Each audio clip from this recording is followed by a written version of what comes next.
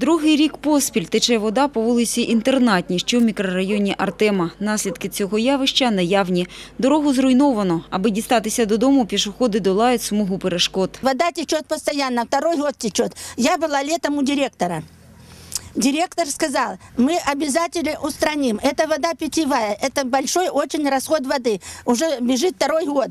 Летом приезжала машина, приезжало руководство, ну, мастера горводоканала, значит, ну, пытались, выкачали воду. Так, ну, она тут же наполнилась. Что-то они там попытались перекрыть. Ну, короче, результатов никаких. А ночью тут вообще, я говорю, жена с работы идет, ребенка забирает внучку. А пока дойдут, хоть по уши в грязюке.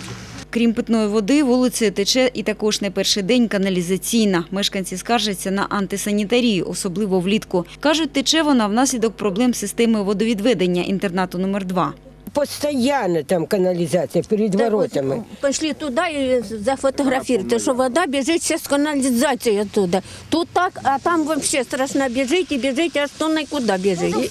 Про проблему у міськводоканалі знають. Виконуючий обов'язки генерального директора КП «Словміськводоканал» каже, інтернат знаходиться на балансі області, тому підприємство ставить своїм першочерговим завданням вирішувати проблеми міста, а вже потім приділяти увагу іншим об'єктам. Там на прошлой неделе я разрывал эту их канализацию, чтобы показать, где канализация, чтобы через верх они могли, через трубу. То есть э, по мере возможности я пытаюсь им помочь, но я могу только помочь. Я кардинально там ничего не сделаю. А от з проблемою течії питної води по вулиці Інтернатній Олександр Шаповалов пообіцяв розібратися найближчим часом. Я посмотрю по сводке, переговорю с начальником участка, если там где-то что-то есть старое. Ну, на ошибке города, может быть, действительно мы и не знаем или внимания не обращали. По воде мы уберем тут. Есть сигнал, значит, я обращу на это внимание.